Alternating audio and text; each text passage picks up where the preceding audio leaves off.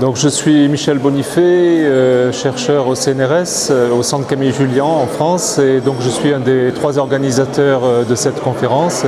En fait, l'origine de cette conférence remonte à dix années, lorsque nous avons compris qu'il était plus possible de travailler sur l'économie romaine et sur l'utilisation des amphores comme témoignage pour reconstruire l'économie romaine, sans savoir ce que ces amphores transportaient exactement. C'est pour ça que nous avons pensé euh, organiser cette réunion. Nous avons souhaité réunir le plus possible de spécialistes euh, d'amphores et euh, de différentes disciplines qui permettent d'appréhender le contenu des amphores, que ce soit la typologie, les inscriptions, l'archéologie sous-marine, la chimie bien entendu.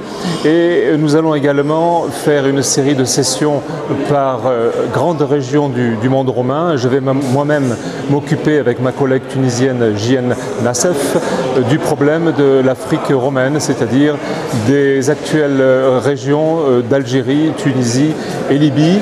Euh, dans cette région, cette grande région, il y avait une production extrêmement importante d'huile, de, salaison de poisson, de vin, et donc il est important pour nous de savoir quels étaient les amphores qui transportaient quelles denrées.